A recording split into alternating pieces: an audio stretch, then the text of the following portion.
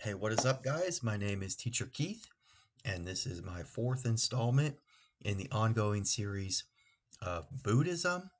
Uh, tonight's uh, topic is the four stages of awakening that leads to nirvana.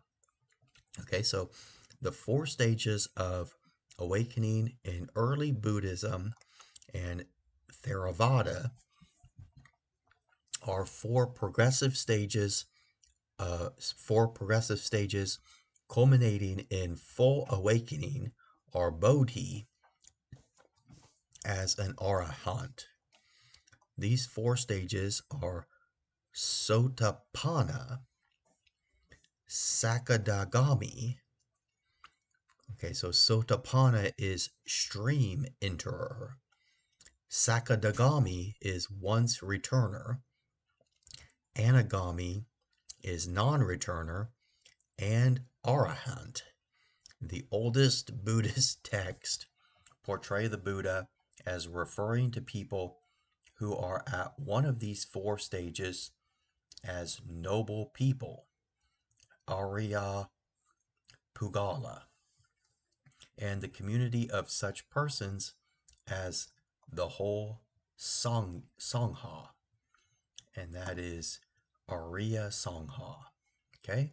The teaching of the four stages of awakening is a central element of the early Buddhist schools, including uh, Theravada school of Buddhism, which still survives.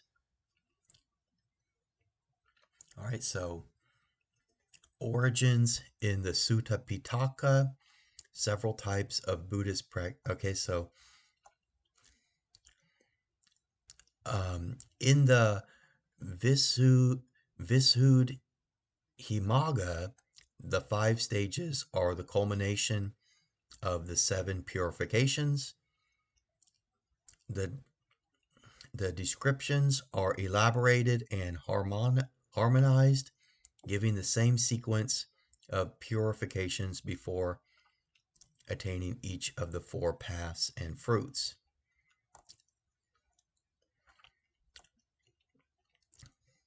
The